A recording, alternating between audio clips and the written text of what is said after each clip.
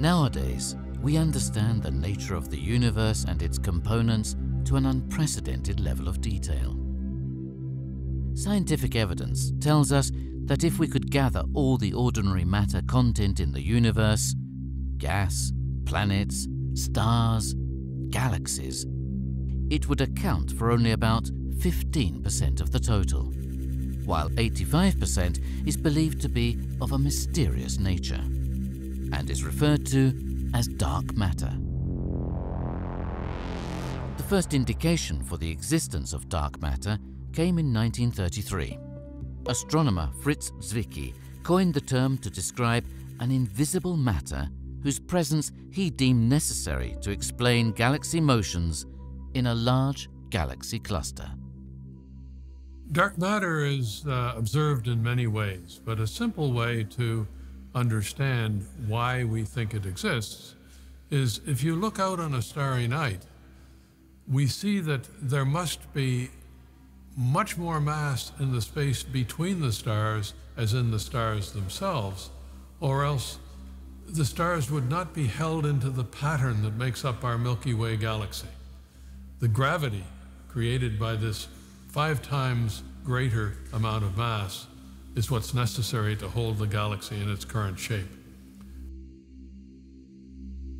Clearer proof came decades later from several sets of astronomical observations. For instance, the rotational behavior of spiral galaxies such as our Milky Way is proof of the existence of dark matter. If a large spiral galaxy consisted solely of atoms, the ordinary visible matter, the inner stars would rotate at a higher speed than the outer ones. This would be seen clearly in the rotational velocity plot. However, from rotation velocity astronomical measurements, we see a different behavior. The outer stars rotate around the galactic center as fast, if not faster, than the inner ones. This can only be physically possible if the galaxy itself is immersed in a much bigger and massive halo of a dark matter we can't see, with a total mass about six times larger than the ordinary visible matter. Scientists have been producing theories on possible dark matter candidates for decades. Among the leading candidates, motivated by the so-called supersymmetry theory, are WIMPs, weakly interacting massive particles that only interact with atoms through gravity or through very rare collisions. We could, in principle, observe these collisions in detectors with very large target masses, 1 to 100 tons, located in deep underground sites to eliminate particle background. The DarkSide collaboration is an international affiliation of over 60 universities and research institutes from around the world that aims at the direct detection of WIMPs at the Gran Sasso National Laboratory in Assergi, Italy. The target material in DarkSide 20K is liquid argon, a cryogenic material with optimal properties for a dark matter experiment. We are using 50 tons of total volume of underground argon. The only way to make it compact, small enough, so we have to do in a liquid phase, so with argon liquefied in the gas phase. That's why we need a cryogenic environment. The collision between a WIMP and an argon nucleus would produce a trail of free electrons and photon emissions that DarkSide 20K would be able to detect. Liquid argon is one of the best elements for the possible discovery of dark matter.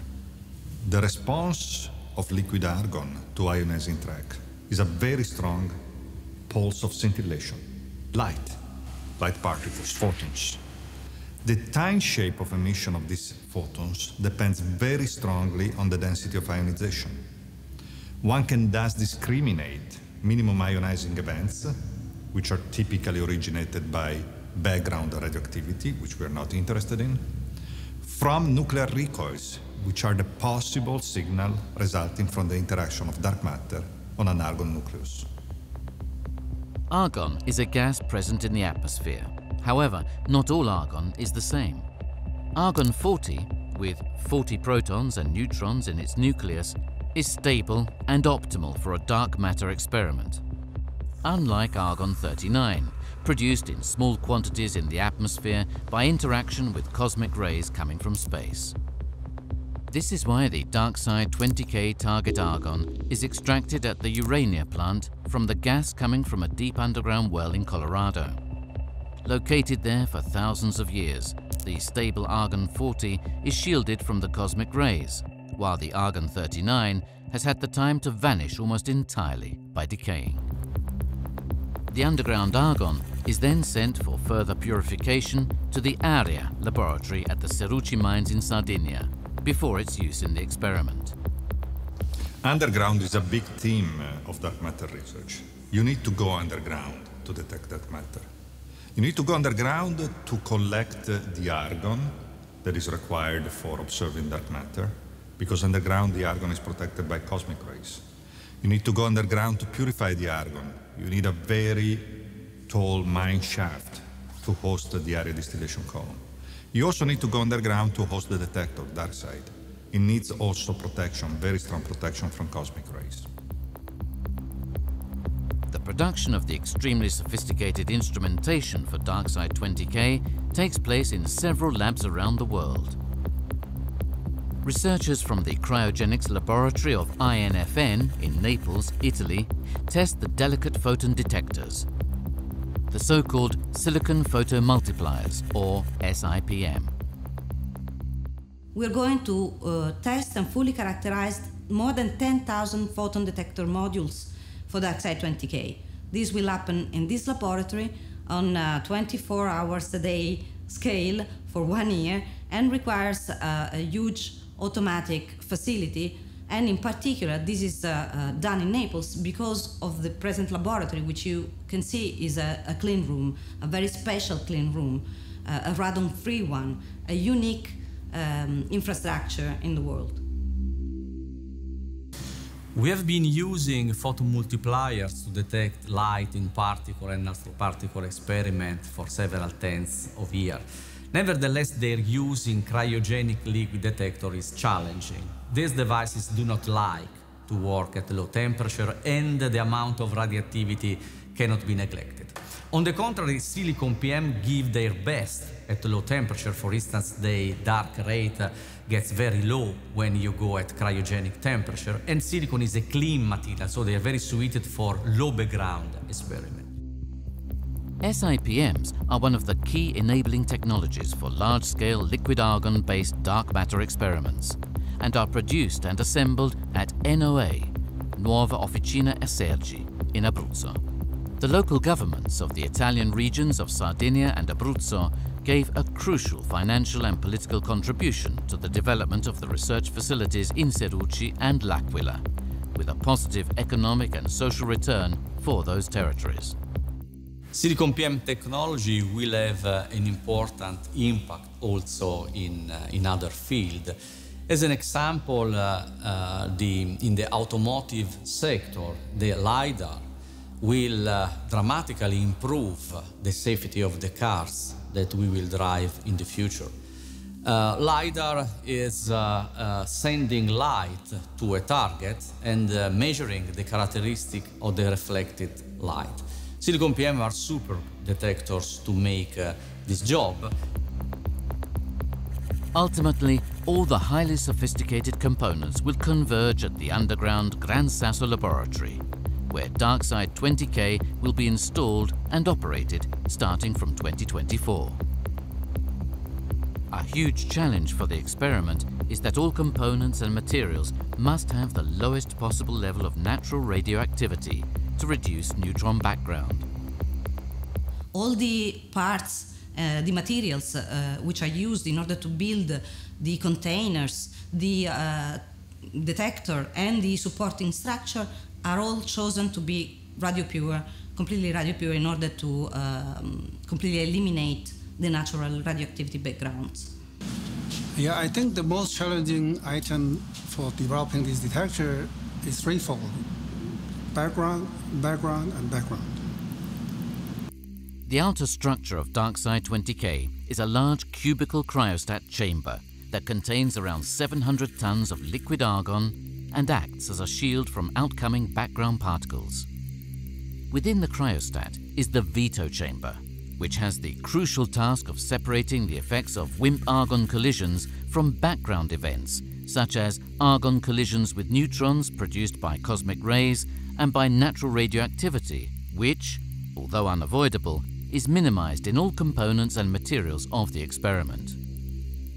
The inner chamber and the core of the DarkSide 20K experiment is the so-called Time Projection Chamber, or TPC. This chamber contains 20 tons of target underground liquid argon, which is viewed by arrays of silicon PM photon detectors. To observe the signal of a WIMP-argon collision, the experiment needs to trace with extreme accuracy both the photons and the electrons produced by the impact. Silicon PMs detect with great accuracy the primary scintillation photons produced by a WIMP-argon collision, thanks to their high photon detection efficiency and single photon resolution. A WIMP collision also extracts some of the electrons orbiting the argon nucleus. These are detected thanks to the TPC's two-phase configuration, where a small region of gaseous argon lies above the larger volume of liquid underground argon. A uniform electric field is applied to drift the free electrons upward to the surface of the liquid argon. There, another electric field is applied to pull the free electrons into the gaseous argon, where they produce secondary scintillation photons by a process called electroluminescence. When a WIMP collides with an argon nucleus, it produces primary scintillation photons which are instantly detected by the silicon PMs inside the TPC. This first signal is called S1. The free electrons produced in the collision drift upwards to the surface of the liquid argon and are pulled into the gaseous argon where they produce secondary scintillation photons, also viewed by the silicon PM arrays. This signal, S2, happens at a later time with respect to the primary scintillation signal, S1. This configuration allows for the WIMP argon events to be accurately localized in three dimensions. The delay time between the S1 and S2 signals accurately defines the vertical position of each event with millimeter precision. The distribution of light over the top photo detector array gives the horizontal position with centimeter-like precision. The veto chamber is then used to discriminate real dark matter events from background signals. We have been looking for dark matter since uh, several years, I don't know, 20 years. I've been personally working in this subject for 15 years. And uh, we are going to, with this experiment to ex fully explore the range of possibility that this dark matter is composed of a, a WIMP, weakly interacting massive particle. Uh, this would be one of maybe the most sensitive experiment in the world. If the WIMP particle exists, we will discover it, for sure. Uh, if we understand the properties of the dark matter particles, seeing how they might fit into theories that go beyond our current knowledge, of called the Standard Model, it will be very interesting for fundamental physics as well as for the way in which dark matter influences how the universe has evolved. So, both in particle physics and in cosmology, or the evolution of the universe, there will be new information that constrains theories. And, and, and when we find the right theory, gives us a better view of our universe as a whole. Thanks to DarkSide 20K, we will be able to either detect dark matter for the first time or strongly constrain its nature and its properties. The quest for the discovery of this mysterious component of the universe is on.